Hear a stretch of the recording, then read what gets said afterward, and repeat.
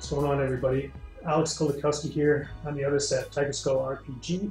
Today, I want to talk to you guys about uh, parting your figures. We kind of touched on this a little bit um, in our last video where we uh, inserted our characters into the base, uh, but this one's a little, a little, bit different. We're going to be using the slice tool to uh, kind of maybe, maybe, you want to mold your characters, maybe you just want to print them.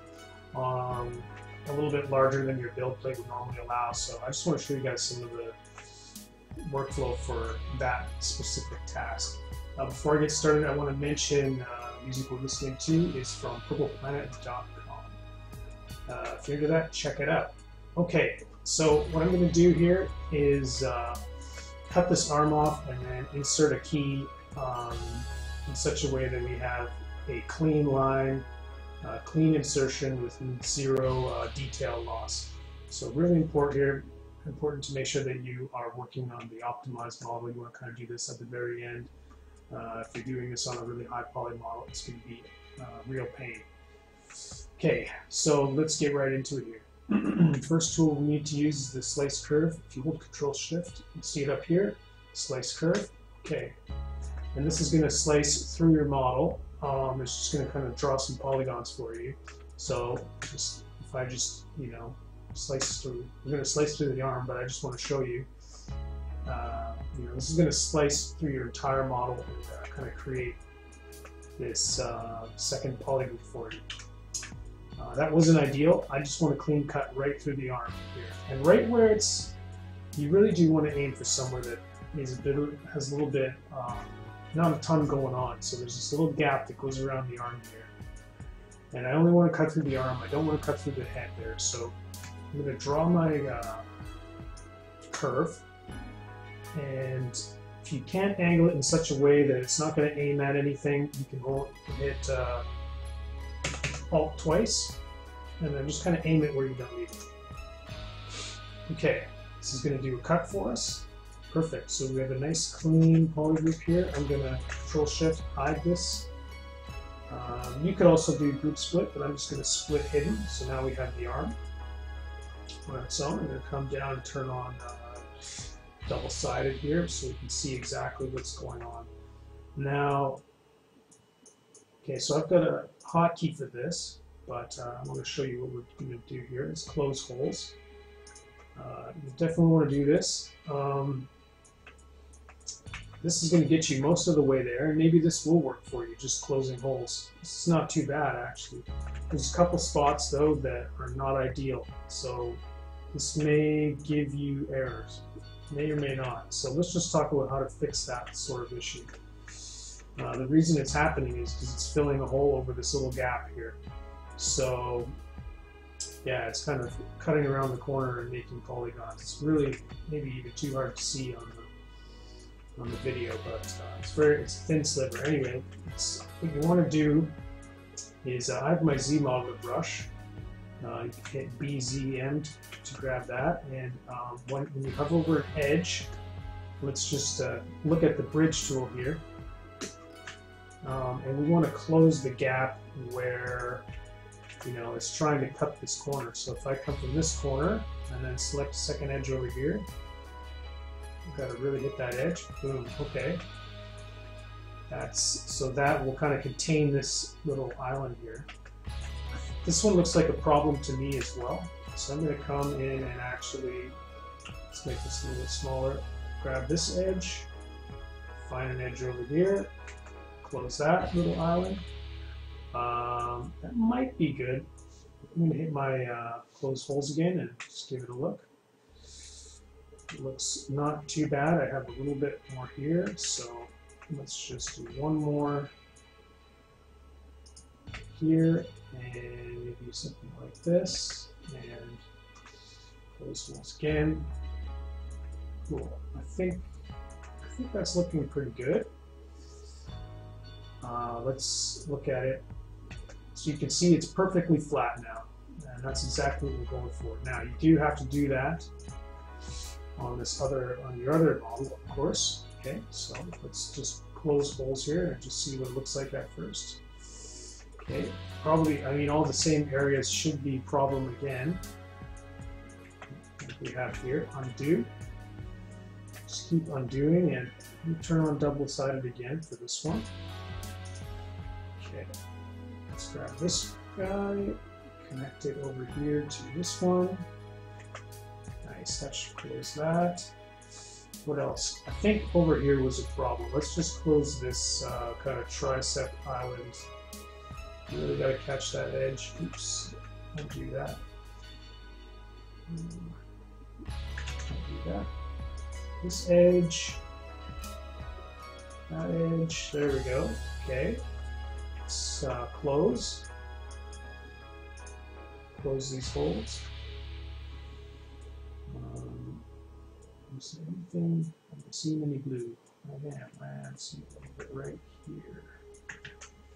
Okay, this one. I think we did close this island on the one as well, so that again.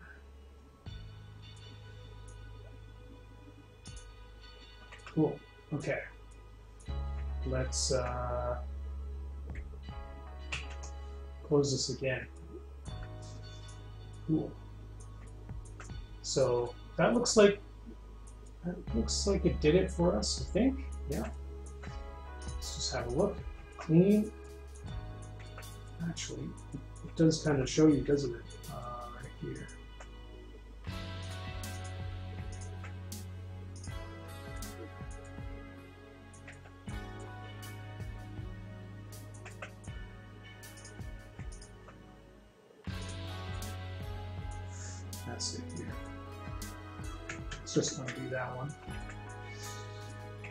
Um, so just draw another little line here.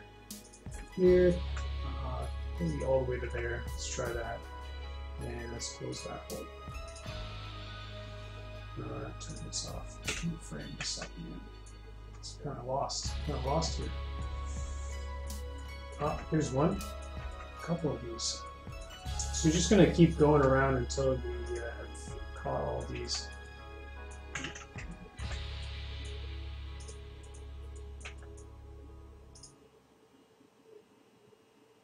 Well, let's try over here actually.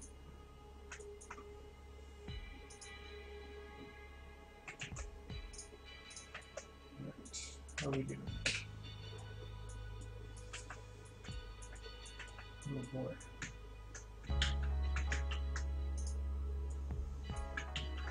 I think it drew some. Uh, I think I accidentally maybe drew some strange uh, points there. Okay, let's do this one more time. Perfect. And let's close the holes.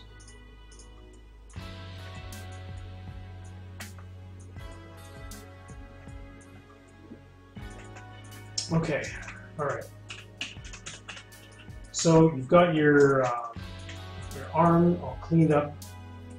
It's all part of it. All you need to do now is uh, just create the, uh, the insert, and we're going to be just reviewing booleans again.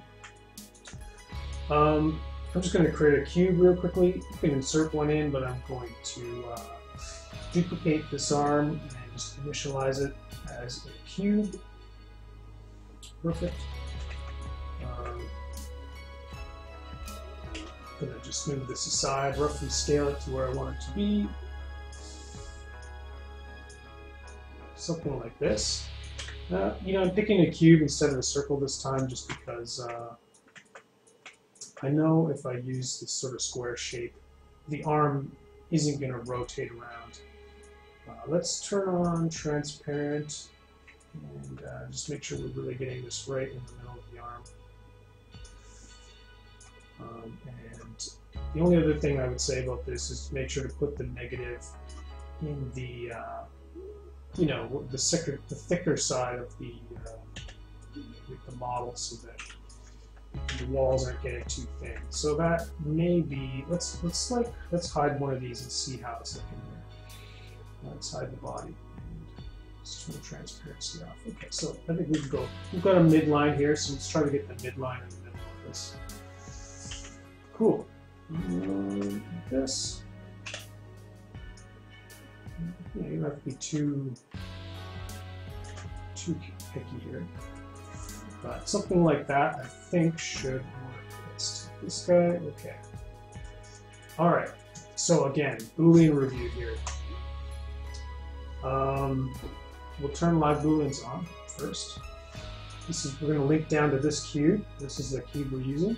We're going to uh, duplicate this guy, and this is going to be used on the body as a negative. So we'll set this to negative. Okay, these are positive, or additive, I should say, and these are subtractive. So we'll link the body to this one, and um, the uh, hand to, to the uh, this other one. And again, let's just well, let's just have a look at that real quick. So this is as you'd expect, the arm with the uh, uh, cube rectangle shape there. And then we've got the negative here too. The only thing I'm going to do uh, is just inflate this a little bit just because of the expansion that happens. So um, depends on the scale, but let's try 1.5. I think at a miniature scale that's usually pretty safe for me. So there we go. Um, that's what you'll want the finished model to look like. Now, all we have to do is hit uh, live boolean, um, make boolean mesh, sorry, with uh, live boolean on, and that should take us where we need to go. Okay, here we go. And let's just solo this. Awesome. Okay. There you go. That's that's basically it. So you just got to go around your model and keep going.